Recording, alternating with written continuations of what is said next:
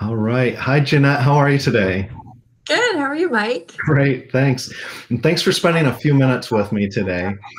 Um, I know that you live in Maynard, and I just wanted to uh, ask you a few questions about the town so that when we have buyers looking in the area, they have this resource to uh, kind of consider as they're making their buying decisions. How long have you lived in Maynard? Um, about two and a half years at this point. Oh, okay. Okay. Where did you move from? I was in Ashland at the time. In Ashland. So, what drew you to Maynard? Um, the house that we found. I knew nothing about the town of Maynard. I didn't. I actually didn't grow up in this area. I grew up in Connecticut. So, um, I've lived in Massachusetts for over ten years at this point. So I, I know this area a little bit, but Maynard I had never even heard of because it's this teeny tiny town wedged in between Concord, Sudbury, Stow, and Acton. It's five square miles. So if you're driving through it and you blink, you're going to miss it. Um, but we were just looking for houses in the Metro West area and we weren't finding anything. We weren't finding anything. And we expanded our, our search to Maynard and we found this house that just checked off all the boxes that we were looking for um, in the price range that we were looking for. So we thought, all right, let's just take a drive out to the country and check it out. So um, here we are. That's how we landed here. That's fun. So, and you work in Framingham. I do. Um, now, when you're commuting, how is it as, as far as the commuting area goes? Um, fine. I uh lucky lucky enough, my gym is halfway between here and my office. So I would do a pit stop there in the morning, get my morning workout in, and then continue on. Um, but it's about a half hour from door to door when I'm nonstop. Okay, cool. And I know that there's been a lot of uh, a lot of new things happening downtown. Um, are there any like can't miss restaurants or shops or anything that uh, if you're in Maynard you kind of have to check out? Yeah, I feel like Maynard has sort of slowly been unfolding itself to us over the last two and a half years. Um, we live walking distance from downtown, which I didn't take advantage of for the first year, I don't think. Um, but there are a couple things like we have a brewery that just opened up called, um, oh, I'm trying, uh, Amory's, no, uh, Amory's Tomb. Yes, Amory's Tomb. Um, they have a fun little outdoor seating area so that you can um, have some beers outside.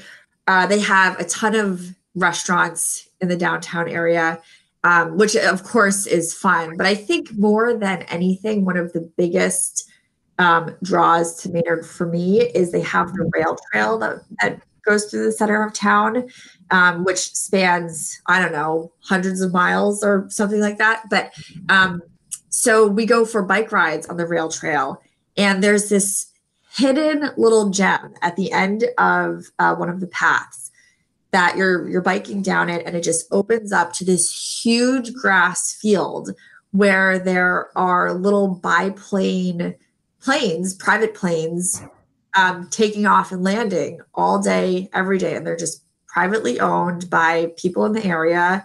And it's just so much fun to bike out there and watch these planes take off and land on this grass landing field.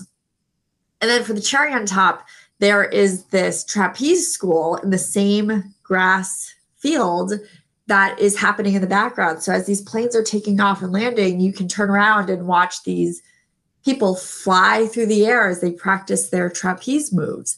And it's just a fun afternoon activity to do on a Saturday or Sunday. You pack a picnic lunch and you just go out there with your kids and watch planes take off and bodies fly through the air. It's really fun. That sounds like a lot of fun. I, I, I yeah. I'm afraid that we're going to have like hundreds of new bikers out there uh, taking this hit and getting away from you. That's funny.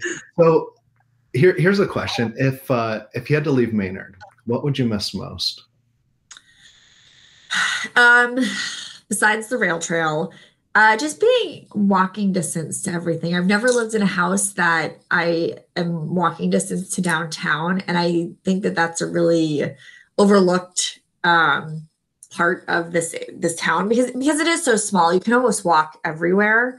Um, And in the summer, they have an ice cream shop that just opened up downtown, so we can walk into town, which is for us half a mile um, with our one and a half year old and get some ice cream and sit in the town square and watch the people go by.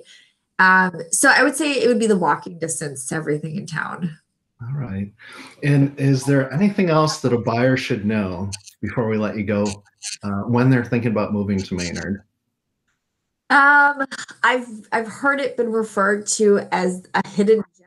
It's it's just this little town that most people have never heard of, but it's a really um, artsy community. There are a lot of artists that live here. We have a big um, school converted into an art studio in town where local artists come and do their work. It's called Art Space. So it, it kind of draws this kind of artsy, hippie community, which I'm totally into. Um, uh, so there, there's that aspect to it, and it's it's just a, a fun little hidden gem of a town that it just keeps like showing us what else it has to offer, which has been really fun.